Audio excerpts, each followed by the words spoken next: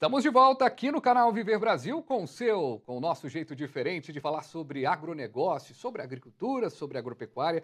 Eu estou recebendo aqui hoje o Ricardo Augusto Boscaro, consultor de agronegócios do Sebrae Minas. Estamos falando hoje aqui sobre o queijo como pano de fundo para falar do empreendedorismo como um todo. E não é do queijo Minas artesanal, mas eu separei aqui um participante super legal, que é o Alisson Hawk. Ele que está em um município pequenininho, pequenininho, mas ele tem uma história tão gigantesca e a gente vai mostrar agora para você. Tem desafios na hora de produzir o queijo no dia a dia? Desafio a gente tem todos os dias e tem que ter muita dedicação e gostar muito do que faz. É dedicação total. A gente é 24 horas vivendo o negócio, não, não dá descanso. Cada época é, é, é um desafio diferente. Você, tem, você conta com o tempo, às vezes não chove, você não tem uma alimentação boa para cabra, às vezes chove demais e, e, e atrapalha outros setores, custo de produção sobe de uma vez só, exorbitante, igual a gente está vivendo agora. Então, assim, desafios são diários. A pergunta sua é se em algum momento você teve alguma dificuldade. É o tempo todo. Ele está em Itaverava, cidade pequenininha, mas a história dele, e por isso eu separei para a gente falar. Olha como é que ele conta uma história que pode ser de qualquer produtor, de qualquer produto do, do, é, da agricultura, né? Tem o tempo, tem a resiliência, às vezes o, é, é, é o insumo, ou seja, como que o produtor se prepara para tantos intempéries. Pois é, Fabiano. É interessante a, a palavra do Alisson, porque a vida do pequeno produtor rural é essa mesmo, né? É persistência, resiliência, paciência, né? insistência. É, o, a produção de queijo, por exemplo, em geral, ela varia muito de acordo com o período do ano, né? Então, os, os, produtores, por exemplo, que não podem ou não têm o controle de ambiente, controle de umidade e temperatura na sala de maturação, por exemplo, eles, é, é, eles têm muita variação do tipo é, do, no queijo deles, no verão, no inverno, na chuva, alta umidade, baixa umidade. Tem o problema hoje, que tá, tá, é um dos maiores desafios hoje do produtor rural, não só pequeno, né, mas no geral, que é o aumento dos insumos, né, o preço dos insumos. Então, o produtor de queijo está sofrendo com isso, porque o custo de produção dele aumentou demais, só o preço do leite, o custo do leite, ele é, aumentou, sei lá, nos últimos meses, cerca de 70%. Então, é, realmente o custo fica alto, ele tem um problema com o mercado, como repassar esse preço, fora né, a fazenda que não tem teto, né? Então, você tem geada, você tem uhum. sol, você tem seca, você tem chuva em excesso. Então, realmente, o trabalho do produtor rural, o trabalho do produtor de queijo em específico, que ainda tem que tirar o leite dele, ele é árduo, ele é de segunda a segunda, né? E tem que ter bastante persistência e resiliência, que são características de um bom empreendedor, inclusive, né? E pegando o exemplo do Alisson, o Alisson, ele ele, ele a esposa dele, né, que fazem tudo, ele ainda tem um funcionário ali que o ajuda, porque os filhos ainda não podem ajudar ali nas, nas pequenas coisas, que acaba a turma já pegando, né, não tem aquele filho já mais velho. E essa realidade hoje no, no, nas produções, né, seja do queijo, na produção como um todo, a força da mulher também, né? Porque a mulher ela é aquela que na maioria das vezes, é a que está fazendo a gestão ali da coisa. Então, está é, tá ajudando ali no dia a dia na produção, mas muitas das vezes é a que faz a matemática, que, que faz o marketing ali, ou seja, são famílias. E como a gente fala da nossa agricultura familiar, da produção familiar do queijo artesanal, para dar o, o exemplo aqui que é a sua área, a gente tem famílias trabalhando. Isso é muito legal, mas precisa de um, de um foco também. Né? É, é, interessante esse assunto, porque realmente a mulher ela é muito envolvida no trabalho do campo, né? principalmente nas atividades onde é, a maior parte é, é, feita por agricultura familiar. No queijo artesanal, a gente estima que cerca de 80% das pessoas que trabalham com queijo artesanal sejam das famílias, né? só 20% uhum. é, são contratados. E em algumas regiões, e na canastra especificamente, para te dar um exemplo disso que você está falando, a mulher é que faz o queijo, tradicionalmente. Né? A mulher toma conta da queijaria, e o homem do gado e da ordenha. Uhum. Né? E muitas vezes quem leva, o, quem dá o um nome ao queijo é o homem. Então você tem queijo do fulano de tal, queijo do fulano de tal, mas é a mulher que está na queijaria. Uhum. Algumas regiões, é, já tradicionalmente é o homem que está na queijaria. Mas quando a mulher está envolvida no processo, você falou uma, uma, grande verdade, a mulher é mais é, é meticulosa, né? ela é mais detalhista.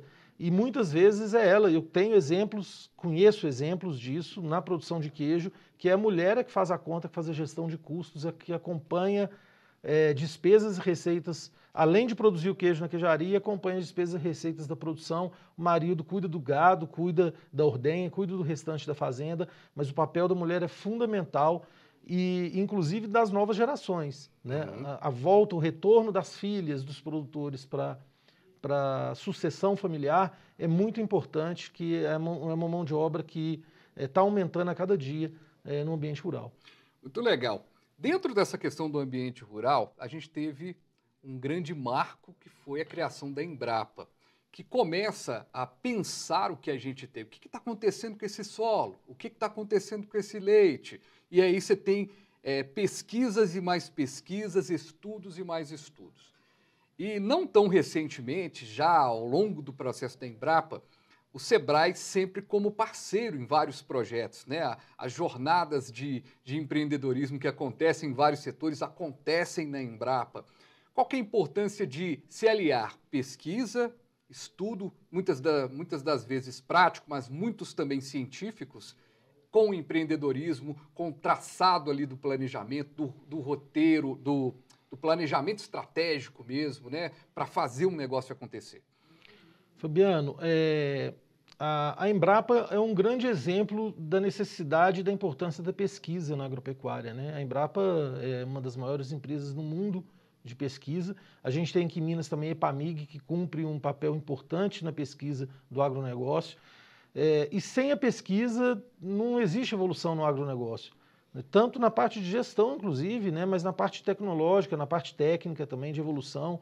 É, voltando também para o queijo artesanal, o queijo artesanal ele tem evoluído é, bastante e, e, por trás tem muita pesquisa né, como base é, para a evolução do queijo e muita necessidade de novas pesquisas para evoluir mais ainda.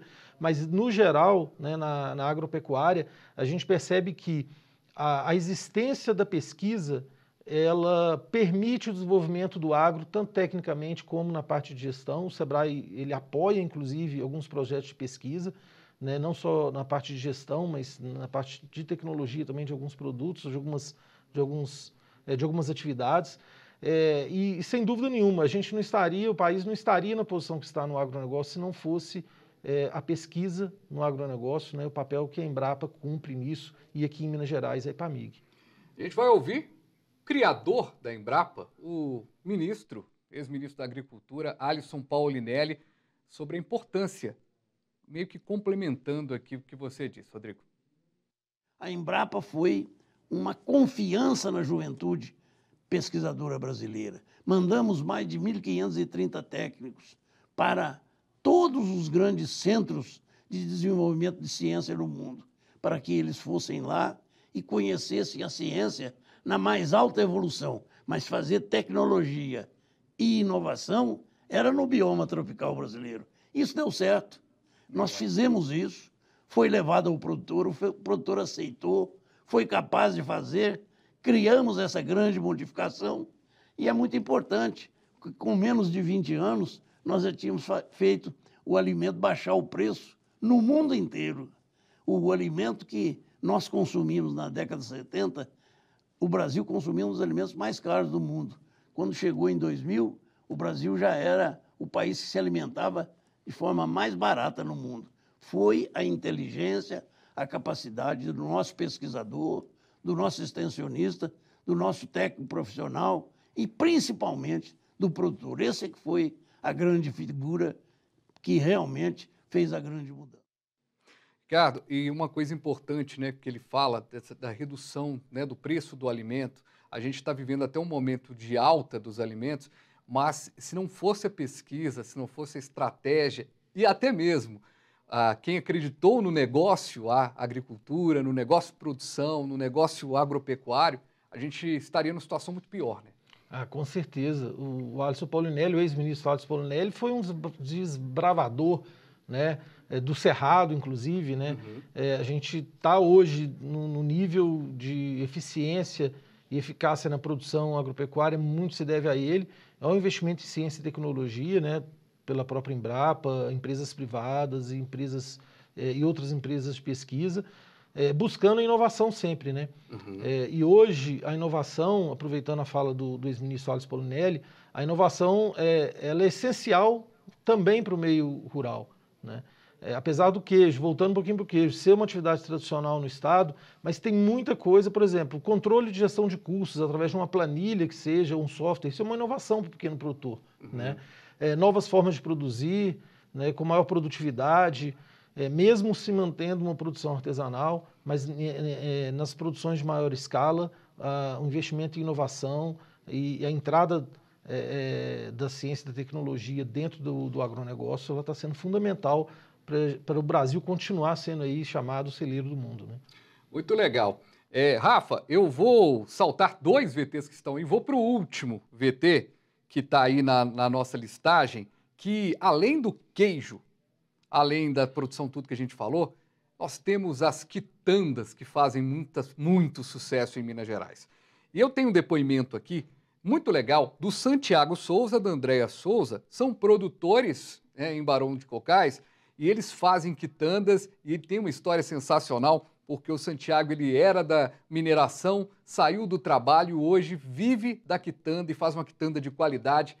A gente vai acompanhar o Santiago e a esposa dele. É, meu nome é Santiago, é, do meu lado aqui também a esposa Andréia. Nós somos agricultores familiares na cidade de Barão de Cocais, né, na Vila Colonial de Cocais. É, nossa atividade iniciou em 2015, né, quando a gente retornou na, na, na, nas atividades que a gente foi formado para trabalhar, né, em empresa de mineração, indústria. E quando a gente teve a primeira filha, a gente resolveu mudar de, de novos ares. Né? E a gente buscou a agricultura familiar como uma fonte de, econômica de subsistência.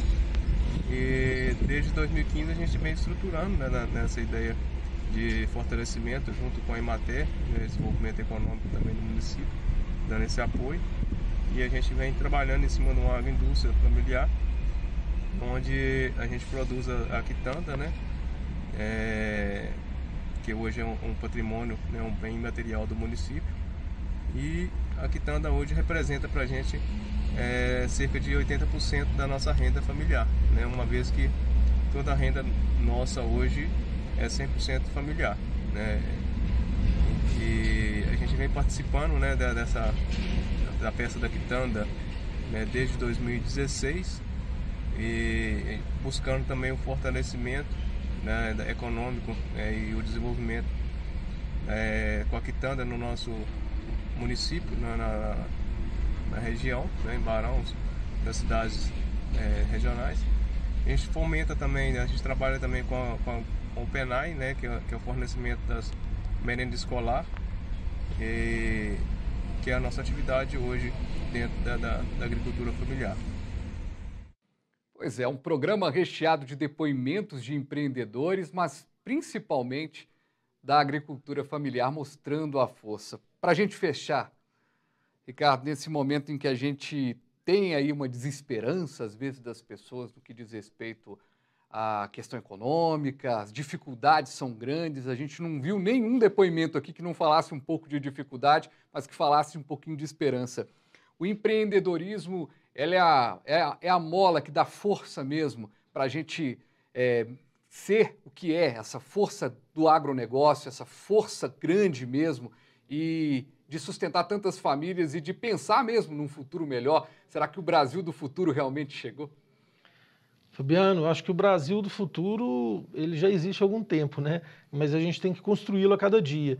E o empreendedorismo, ele, é, para gente do Sebrae, é, é ele que transforma vidas. Né? O empreendedorismo não é só você montar o seu negócio, mas você ter atitude empreendedora onde você estiver trabalhando. Né? Mas é, eu acredito sim que é, atitudes como essas que a gente viu aqui hoje, né, do, do, pequeno produtor, é, mesmo com todas as dificuldades que o mercado hoje tem, está impondo, né, de aumento de custos, mas ninguém deixa de comer, né, Fabiano? Então, produzir comida é um negócio que é, é, você tem venda certa. Né? Uhum. Lógico, você tem que trabalhar a redução de custo, né? trabalhar com custos mais baixos para ser competitivo no mercado. Dependendo do seu produto, do seu segmento, buscar nichos de mercado para você conseguir um valor a mais no seu produto, como um produto diferenciado, num canal de mercado diferente. Né? Mas, independente disso, é, é, independente disso, o empreendedorismo ele é importante e é fundamental para que a gente coloque comida na, na mesa da população brasileira. Ricardo Augusto Boscaro, consultor de agronegócio Sebrae Minas. Muito obrigado, Ricardo, pela sua presença aqui. Foi muito bom. A gente precisava fazer esse programa de esperança do empreendedorismo e a sua voz aqui sendo a, a parte técnica, a parte do conhecimento, nos ajuda a contar essa história. Obrigado, viu? Eu que agradeço a vocês, Fabiano, canal Viver Brasil. É muito, muito gratificante para a gente estar aqui e é sempre um prazer e à disposição. O Sebrae está sempre à disposição para quando a gente puder conversar um pouco mais sobre o nosso agro.